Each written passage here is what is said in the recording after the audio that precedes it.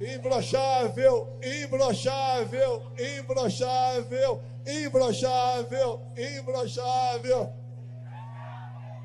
Se você se horrorizou com isso que você acabou de ver, saiba que não foi a primeira vez que Jair Bolsonaro se intitulou imbrochável. Em maio do ano passado, 2021, no auge da pandemia, quando o Brasil teve o terceiro mês mais letal da pandemia de Covid, houve manifestações em muitas cidades brasileiras. Você deve se lembrar, gente, eram mais de 3 mil mortos por dia. O mês fechou com mais de 59 mil brasileiros mortos. Bolsonaro não falou nada sobre aqueles atos, sobre as pessoas nas ruas, sobre a indignação das pessoas, sobre a dor das famílias, mas foi para as redes sociais. E uma das coisas que ele fez foi postar uma foto segurando uma camiseta onde estava escrito imorrível, imbrochável, incomível. 3 mil pessoas morrendo por dia e o presidente te posta uma foto onde está escrito imorrível. É desse jeito, desde sempre, que o atual presidente do Brasil trata assuntos importantes, como ele fez agora na celebração do bicentenário da independência. Ele transformou uma data que era de todos os brasileiros num grande comício para os seus apoiadores que a gente sabe que é proibido por lei. Mas ele fez pior, gente. Diante de um público que tinha adolescentes e crianças, ele resolveu fazer uma brincadeira sem graça, totalmente inapropriada, principalmente para um público que se diz tão preocupado com a sexualização precoce das crianças. Um público que acusa políticos, partidos, jornalistas e professores de tentarem ensinar crianças de seis anos a fazer sexo. Bolsonaro faz isso. Faz exatamente esse tipo de acusação. Eu fico imaginando que uma família dessas, que se auto-intitula como gente de bem, diria uma criança que, diante desse coro que foi puxado pelo Bolsonaro de imbrochável, quisesse saber o que é imbrochável. Já pensou nisso? E não foram só essas únicas vezes. Não foi a única coisa de cunho sexual que o Bolsonaro falou nesses últimos anos. Que o presidente deve ter algum problema mal resolvido Parece meio óbvio. A psicanalista Maria Homem fez um diagnóstico que eu achei muito preciso sobre isso.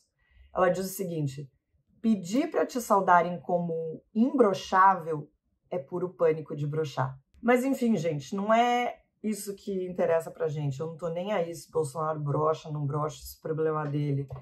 O que interessa pra gente é essa hipocrisia no discurso do presidente. Entre a coisa que ele fala e a coisa que ele faz. Vamos embora falar sobre isso?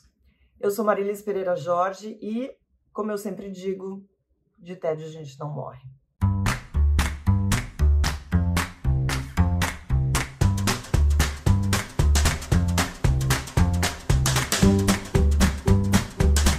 Antes da gente começar, se você está chegando aqui agora, seja bem-vindo ao meu cantinho no meio. Aproveita para assinar o canal aqui no YouTube, é de graça deixa seu like e adiciona. Adiciona não, gente. Deixa seu like e aciona o sininho para receber as notificações. E aproveita para se inscrever também para receber a newsletter do meio. Chega cedinho, às sete da manhã, na sua caixa de, de e-mail. São oito minutos de leitura com todas as notícias que você precisa para encarar o dia bem informado. Porque tem muita gente que não tem feito isso, não. Mas vamos continuar esse papo. Uma das pautas que o Bolsonaro mais usou na eleição de 2018 foi a da educação sexual nas escolas. Vocês devem se lembrar que ele espalhou aos quatro cantos que tinha um livro que estava sendo distribuído para crianças ensinando as crianças a fazerem sexo. Bolsonarismo espalhou um vídeo com denúncia fake sobre mama, Bolsonarismo espalhou um vídeo com uma denúncia fake sobre mamadeira de piroca. A gente já falou sobre isso aqui. Bolsonaro e essas mesmas pessoas são as que engrossam o coro de imbrochável para saudar o presidente numa manifestação à luz do dia, cheia de crianças e de adolescentes. Isso é hipocrisia. Não é o que o bolsonarismo adora repetir? Agora, calma que piora. Em maio deste ano, Bolsonaro e a primeira-dama, Michele, participaram de um programa de quinta categoria. É, porque é o que o programa era. Um programa de quinta categoria E o apresentador perguntou, num dado momento, se o Bolsonaro estava dando conta em casa. É ou não é de quinta categoria? Exatamente isso, gente. O apresentador perguntou à mulher do presidente da República sobre a vida sexual do casal com esse palavreado de botequim. E ela respondeu. Ela disse naquela entrevista que ele é imorrível, imbrochável, incomível. Merece ou não o marido que tem? Mas vamos lá, foco. Nós adultos, a gente sabe bem o que é imbrochável, mas as crianças não sabem, ou pelo menos não deveriam saber. O que as crianças precisam é informação adequada a cada idade sobre o seu corpo. É por isso que existem especialistas que estudam para determinar o que as crianças devem saber. As crianças precisam saber o que podem, não podem fazer com elas, para que elas possam identificar possíveis abusos. O que os adolescentes precisam, gente, não é fazer cura de imbrochável. É informação sobre sexualidade, sobre maturidade sexual, sobre responsabilidade, para que esse início da vida sexual seja numa idade adequada, seja saudável, seja seguro. O Brasil tem índices escandalosos de gravidez na adolescência. A gente está acima da média mundial. Esses dados são do Fundo de População das Nações Unidas.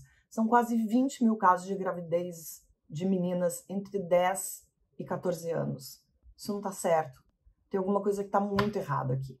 Até junho, o Brasil já tinha registrado, por meio da Ouvidoria Nacional, 8 mil denúncias de estupro. 36% dessas, dessas denúncias, as vítimas eram crianças de até 11 anos e 77% tinham menos de 18 anos. Recentemente, eu questionei a ex-ministra Damares Alves sobre essa cruzada que é promovida pela extrema-direita contra a educação sexual.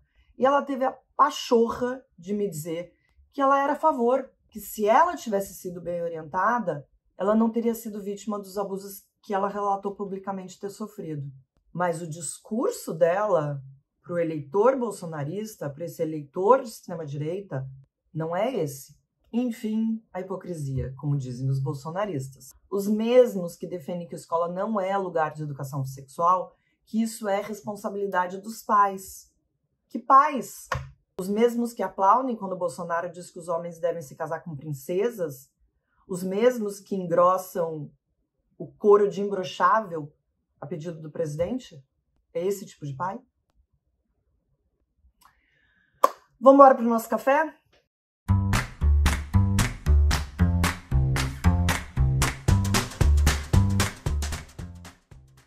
E olha que eu trouxe pra gente tomar um cafezinho junto. Essa daqui é uma das minhas favoritas. Chudazinho. Mas vamos lá. Gabriele Cruz diz: Marilis, mesmo adivinhando o porquê de você abrir o vídeo de hoje com esse monte de xingamentos, pois é, fiquei com o estômago embrulhado. Mas pior que é assim mesmo. As mulheres são sempre atacadas com referência à sua aparência sexualidade, idade. Dói. Gabriele, dói mesmo. É... Mas eu fiz de propósito para causar justamente esse impacto que quem que eu sinto é, sempre que eu recebo esse tipo de comentário, sempre quando eu leio esse tipo de comentário. É, eu confesso para você que já faz tanto tempo que isso acontece é, que eu não fico mais surpresa quando dou de cara com alguma coisa tão grosseira e agressiva, mas eu não consigo me acostumar que tenha gente que se comporte dessa forma e ache que tá tudo certo. Ione Dias, chegando por aqui já me sentindo em casa e representada. Continua firme, mana. Precisamos de mulheres como você.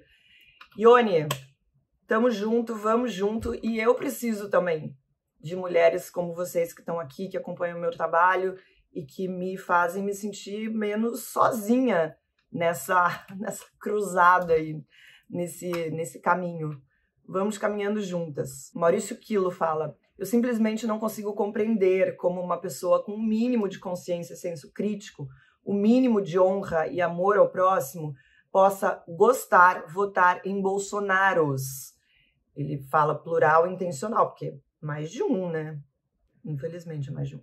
Agora, quando os grupos minorias especificamente atacados pelos bolsonaros, pobres, pretos, mulheres, LGBTQIA+, o apoiam, aí meu cérebro derrete. Eu também realmente não consigo entender. Eu acho que essa é uma das questões que a gente sempre se pergunta, né? Como uma pessoa pode votar, como uma mulher pode votar, como um gay pode votar, como um negro pode votar num, num cara como o Bolsonaro que já diz tantas barbaridades tant, tantas vezes, né? E parece se orgulhar, acha que é mimimi quando a gente reclama e tal. Mas eu acho que tem algumas explicações. Não acho que essas pessoas sejam só más.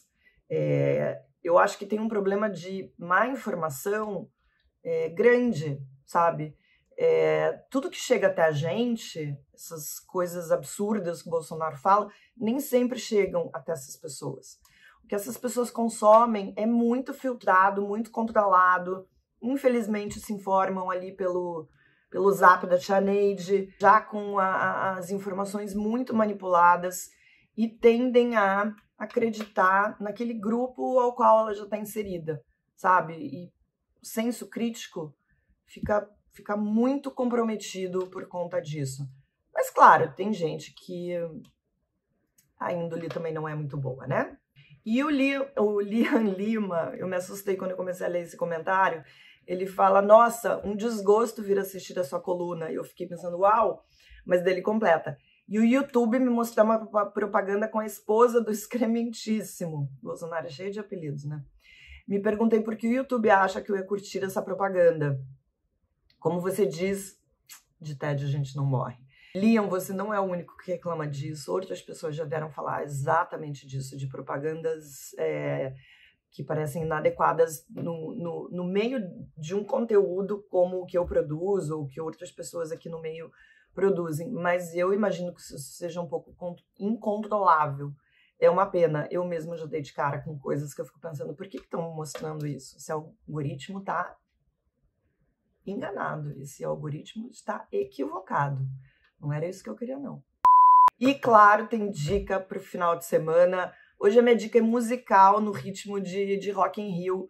E eu quero indicar para vocês uma cantora que vai, vai cantar no Rock in Rio, mas também faz shows hoje, sexta, e amanhã em São Paulo, no Blue Note, que é a Macy Gray. E ela toca aqui no domingo, é, no Rio de Janeiro, no Rock in Rio.